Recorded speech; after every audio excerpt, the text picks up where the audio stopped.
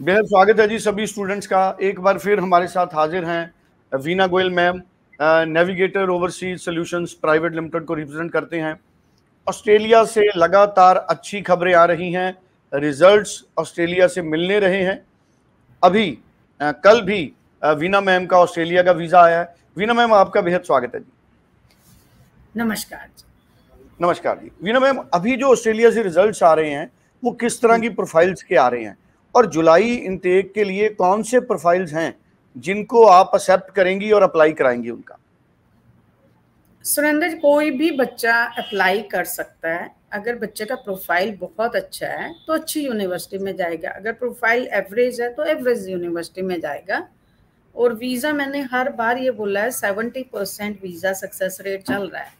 तो thirty percent तो जो बच्चों का अगर प्रोफ़ाइल अच्छा नहीं है या वो कभी भी ऐसा हंड्रेड परसेंट वीज़ा कोई भी एम्बेसी नहीं देती है, मान लीजिए पहले eighty five percent ninety percent दे रहे थे तो अब वो कोई सेवेंटी परसेंट जितना हो गया, दस पंद्रह परसेंट तो अब उसमें क्या होगा कि जो प्रोफ़ाइल थोड़े ज़्यादा स्ट्रांग होंगे, उनको वीज़ा मिलेगा।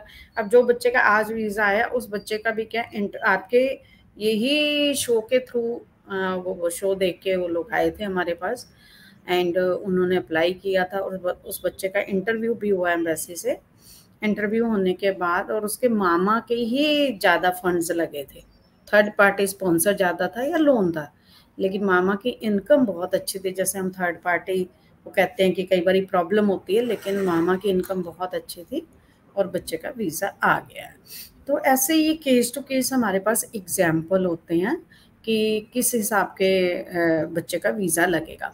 अब कोई भी बच्चा जो है, अगर पंद्रह सोलह लाख की इनकम है, अब जैसे सेवन लाख जो हमारे इंडियन गवर्नमेंट ने ट्वेंटी फोर की जो आई टी आर है, वो टैक्स फ्री कर दिया। अब मदर की सेवन लाख की होगी, फादर की सेवन लाख की।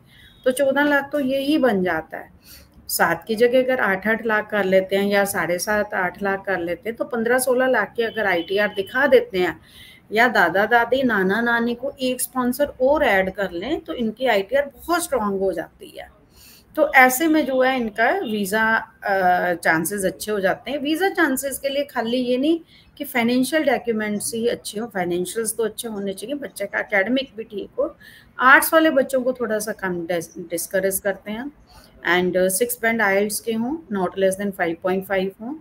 एंड uh, आपका जो है परसेंटेज कोई सिक्सटी परसेंट के अराउंड हो मेडिकल नॉन मेडिकल के बच्चों को हम थोड़ा ज़्यादा उनको मोटिवेट करते हैं क्योंकि आईटी के कोर्सेज हैं हेल्थ रिलेटेड कोर्सेज हैं और नॉन मेडिकल के रिलेटेड इंजीनियरिंग के बहुत सारे कोर्सेज हैं जिनमें वीज़ा की बहुत ज़्यादा संभावना है। तो बच्चे इन सारे कोर्सेज में कर सकते हैं उसमें वीज़े की कोई प्रॉब्लम नहीं है। और हमेशा ये मान के चलो कि कोई भी कंट्री का वीज़ा अगर सेवेंटी परसेंट तक आ रहा है तो वो अच्छा ही सक्सेस रेट माना जाएगा। वो बहुत ख़राब सक्सेस रेट नहीं माना जाएगा। हाँ अगर जैसे कैनेडा ने पीछे कोई नाइन्टी परसेंट के आसपास वीज़े दिए या ऑस्ट्रेलिया ने दिए अब वो थोड़ा सा दौर चेंज हुआ है। तो उसके लिए बच्चों को अब जैसे हम लोग उस टाइम साढ़े पाँच बैंड वाले प्रोफ़ाइल भी पकड़ लेते थे वीज़ा आ जाते थे।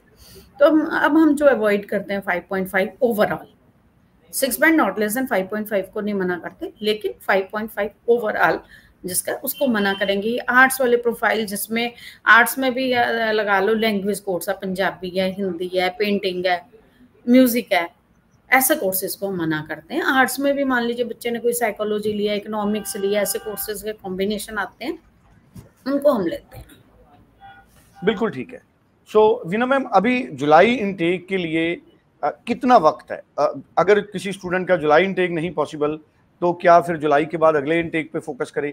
और हमारे वो स्टूडेंट्स जिनका रिसेंट अभी रिज़ल्ट आया जैसे अभी पंजाब बोर्ड का टेन प्लस टू का रिज़ल्ट आ रहे आ गया। क्या वो बच्चे भी आ, अप्लाई कर सकते हैं जुलाई इनटेक के लिए पंजाब के हरियाणा के हिमाचल बोर्ड के?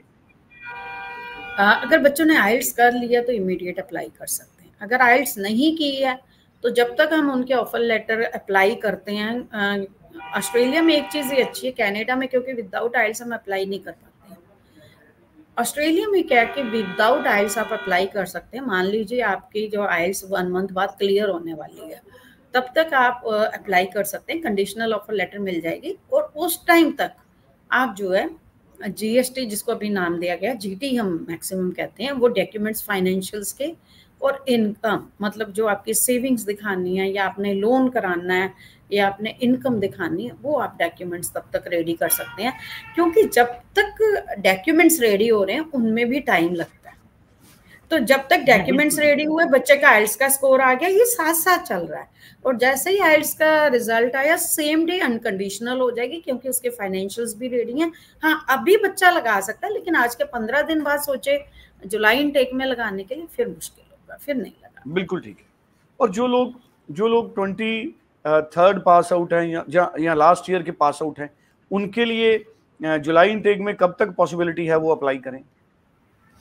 प्लस टू वाले स्टूडेंट जो ट्वेंटी थ्री पास आउट हैं उनका ये लास्ट इनटेक है। उसके बाद वो अप्लाई नहीं कर सकते बेटर है वो किसी और कंट्री में अप्लाई करें। लेकिन जो अब ट्वेंटी फोर पास आउट हैं उनके पास जुलाई के बाद हमारे पास जनवरी इंटेक भी है। जुलाई में हमारे पास ऑप्शन बहुत ज़्यादा होते हैं जनवरी से ज़्यादा होते हैं। तो कोशिश करें बच्चे की जुलाई में अप्लाई कर लें। अगर मान लीजिए बच्चे का कुछ भी आ, कमी पेशी रह जाती है तो अगर उसका नेक्स्ट इनटेक है उसमें डेफर हो जाता है कोशिश करें इसे इनटेक में फ़ाइल लगाने की जो मेरी अपनी सजेशन वो बच्चों को ये रहेगी।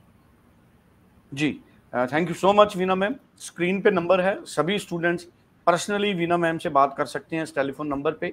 अपना प्रोफ़ाइल भी आप व्हाट्सएप कर सकते हैं।